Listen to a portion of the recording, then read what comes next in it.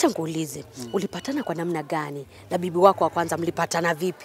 Na bibi yangu ya kwanza tulipatana nilipomaliza nilipomaliza tu high school. Ehe, E, tukapatana, yeye alikuwa pia high school. ehe. Basi hivyo tu Mkapatana na ndio hivyo na bibi wa pili wakati ambapo ulimu, ulimuongezea huyu wa kwanza hakusikia vibaya? hiyo ni kawaida, hakuna mtu hawezi sikia vibaya, lakini sasa unajua bwana ndiye anaamua. Eh, lakini mpaka hiyo friction ikue kwa muda Kuna wakati ambapo pia watoto wanakuwa na friction kwa kile ambacho wanasikia huyu anapendelewa, huyu apendelewi.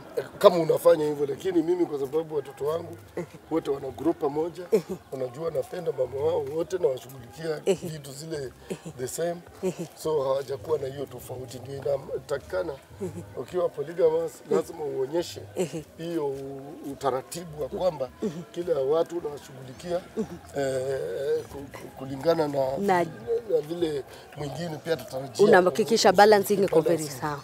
Ninajua umekuwa ninakuwa ninajua umekuwa ukichampion sana kwa maswala ya polygamy. Ni nini ambacho kilikupush towards this kuhakikisha kwamba una champion maswala ya polygamy? Unajua eh, watu wengi wanaishi na lie.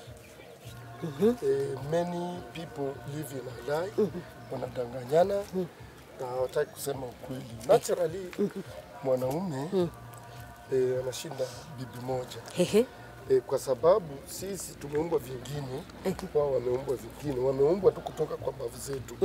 Ndio unaona Lakini mtu alitolewa ubavu mmoja. mmoja, Ndio unaona hata Mungu ah, alipoumba Adamu na Eve alipendelea waishi na mke moja, lakini wakati mke moja alidanganya uh, Adam akamkosea, ndio Mungu akakasirika.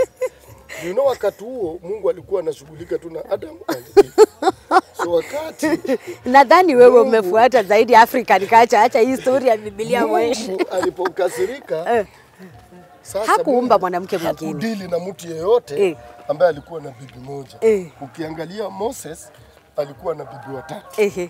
Ukiangalia Abraham Eh. Alikuwa na bibi watatu. Eh. Uh, ukiangalia Solomon eh. Uh, Sema sema tu Samuel Eh. So Eh. God speaks to men. He only spoke to polygamous hapa umenileta ni wapi? Naona uko na ng'ombe, uko na kondoo, uko na mbuzi. Hapa ni wapi? Sasa hili ni boma Ehe. aliwezi kosa Na ningependa tukaribie huku. Mhm. Eh, ingawa sisi ng'ombe zetu ni za kienyeji Hizi huku kufuga ng'ombe ya maziwa ni ngumu. Ni sababu ya climate ya so uh, hizi zetu ni za kienyeji Ni za kienyeji zile tu za kawaida. e, na uwezi kosa kwa boma Ehe. ng'ombe moja mbili Ehe. eh, yako ile Ni- saa uone tu Ehe. ilie tu kwa boma Ehe. ndio ikue boma Sasa hizi ng'ombe wakati uko nyumbani, hapa ndipo nitakupata ukiangalia maslahi ya ng'ombe na mambo mengine. Ninajua kuna mambo mengine unafanya, ni kama yepi